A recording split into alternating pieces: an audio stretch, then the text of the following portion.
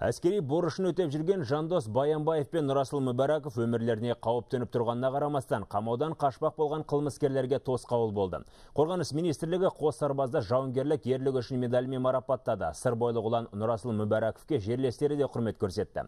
Абақтыдан қашуға талпынған сотталушылар қарбала сәтте қос сарбазға тапаншадан оқ атып жаралаған. Бірақ ержүрек ұландар қансырап жатса да қашқынның үстіне бар денесімен құлап басқа жауынгерлер көмекке келгенше арпалысқан.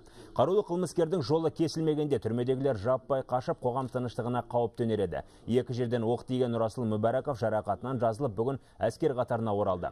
Аймақ басшысы сырбойлық сарбаздың ерлігін жоғары бағалап құрмет грамотасын тапсырып 1 миллион теңге қаржылай сый жасады. Айта кетейік сарбаздар сауыққаннан кейін оларды петропавл қаласындағы ішкі істер министрлігінің әскери институтында білім алуға жіберу туралы шешім шығарылған.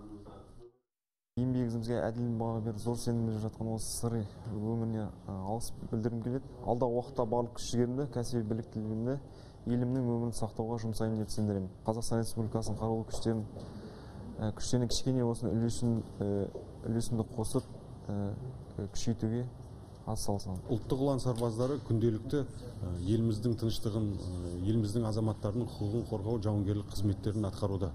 Осы қылмыске қарсы күрестің алғы шебінде әртүрлі оқиғалар болуы мүмкін. Сондықтан да ұлттық ұлан сарбаздары оларға төзімділікпен батылдылықпен тойтарыс бере білу керек.